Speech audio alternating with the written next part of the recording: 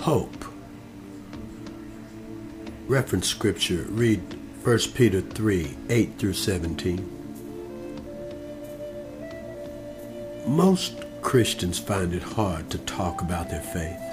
One reason, perhaps, is this our faith is not really part of our daily life. The Apostle Peter sums up our commitment to Christ in one word hope. Hope is the vision that whatever happens, Christ is in control. Hope goes very deep. It is in the marrow of our bones. Now, what do you do with this hope? You give the reason for it. That's what Peter says. Easier said than done. Peter wrote to the Christians who were hated in the community because of their faith. That faith excluded emperor worship and the Roman way of life. Christians were dragged before judges who demanded an account of their loyalties. That was the situation Peter was talking about. And he tells these Christians to answer the judges' questions with a full account of their hope. Now, that took a lot of courage. It takes a lot of courage today. Only when your whole life is bound to Jesus Christ by hope can you do it. It means that your own life must be placed on a new Christian footing. Now, that would be the best thing that ever happened to you. A heart full of hope would be better than a safe full of gold. You would be an inspiring person. You would be drawn to people and you wouldn't find it hard to be drawn into a conversation with them. May our prayers be, Lord, fill us with hope and remove barriers from among us. Bless the account we will give of our hope. In Jesus' name we pray. Amen.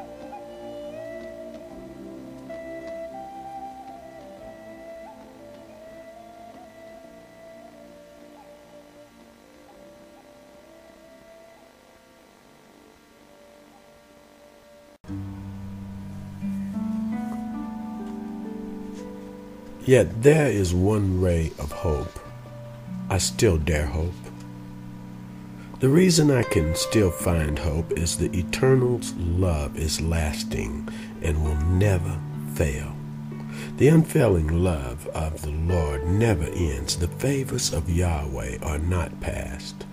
His kindnesses are not exhausted.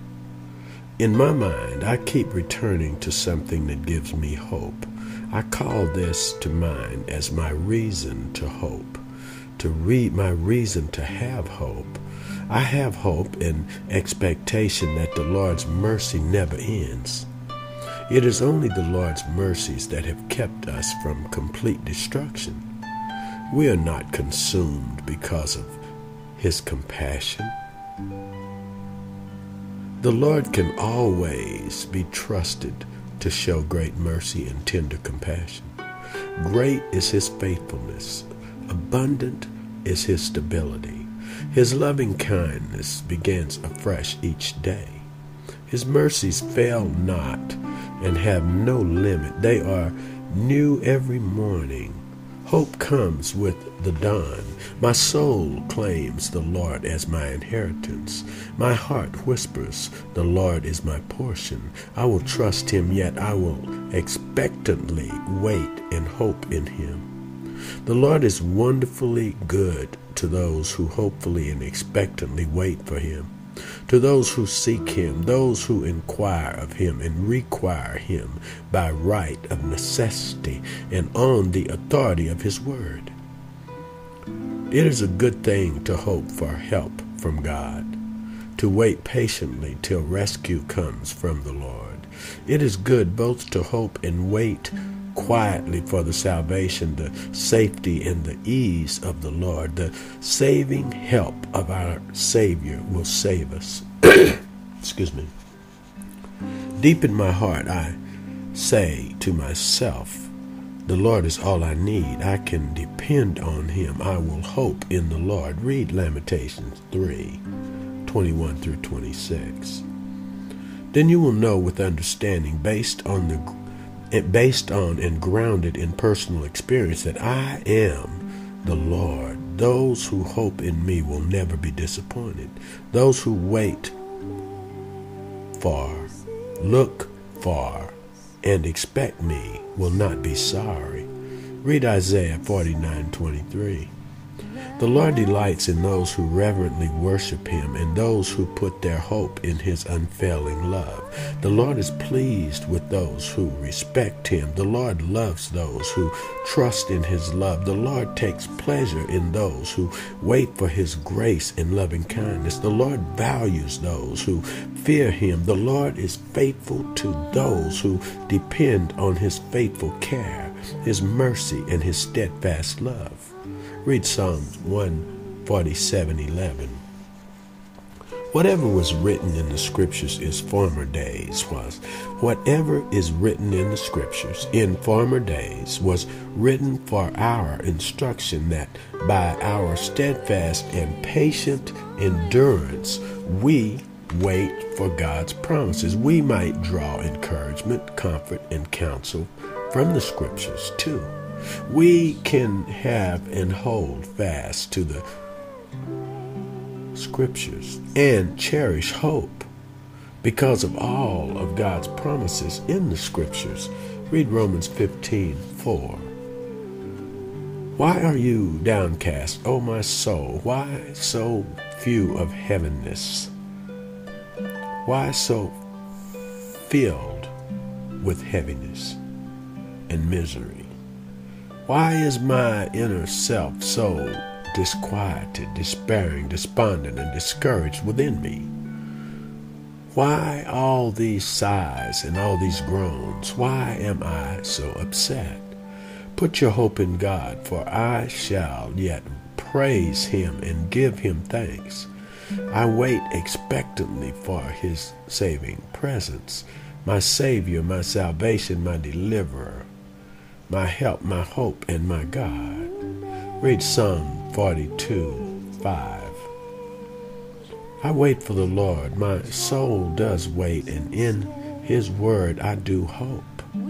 I am trusting in the Lord. My whole being is confident and hopes in the Lord. I have faith in his promise. I expectantly wait. I wait for the Lord to help me. I look to the Lord, and in him I do hope. I am waiting for you, Lord. I am counting on you. I trust in your promises, in your word. I have hope. Read Psalm 135. We expect the blessed fulfillment of our certain hope. We are awaiting and looking for the happy fulfillment, the realization of our blessed hope even the glorious splendor of the appearing of our great God and Savior, Jesus Christ, the Messiah, our deliverer, the anointed one, who is the fulfillment of all of our hopes. Read Titus 2:13. The Lord who inspires all our hope is the source of hope, the giver of hope, and the fountain of hope. May the God of hope so fill you with all joy and peace in believing through the experience of your faith that by the power of the Holy Spirit you may abound and be overflowing, bubbling over with hope. May your whole life and outlook be rich and radiant with hope. Read Romans 15 13.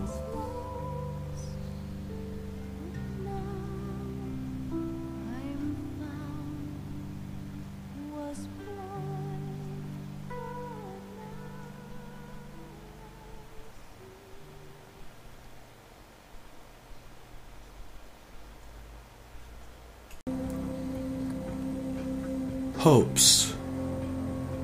Reference scripture 2 Peter 3 8 through 18.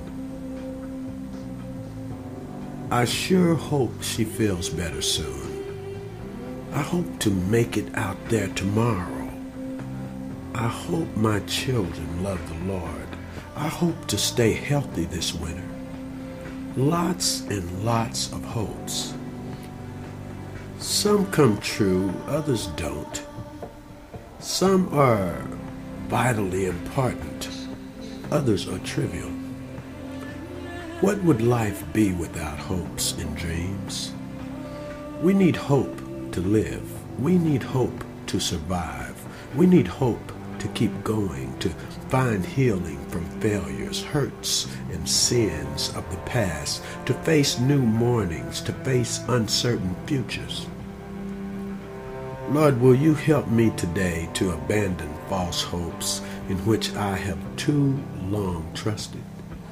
Money, a bigger home, knowledge, myself, friends, hoping against hope that they are someone or something else will provide me with meaning, purpose, and happiness. Will you give me the power to hear your promise that a bright new world is coming? A world where righteousness lives, where love reigns, where peace and justice rules, and knowing that my future hopes and dreams are safe with you, I can live with contentment and joy. Lord, of my past, my present, and my future, I pray this in Jesus' name. And I thank you, Lord.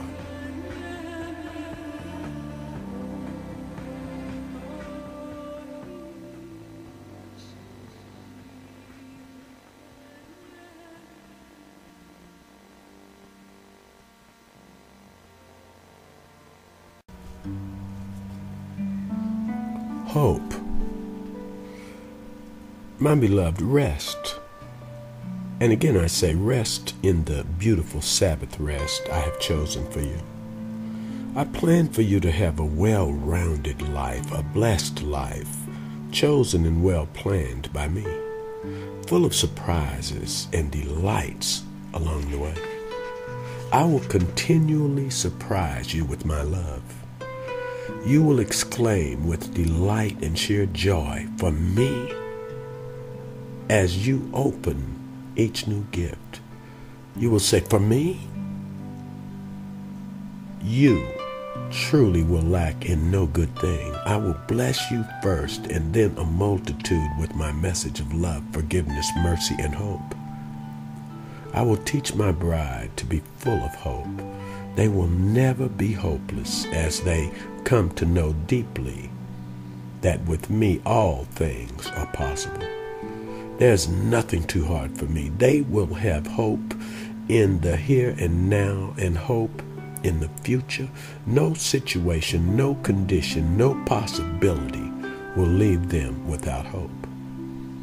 In my love for my bride, I will pour out a double portion of hope, a special measure of hope blessed hope in the blessed hope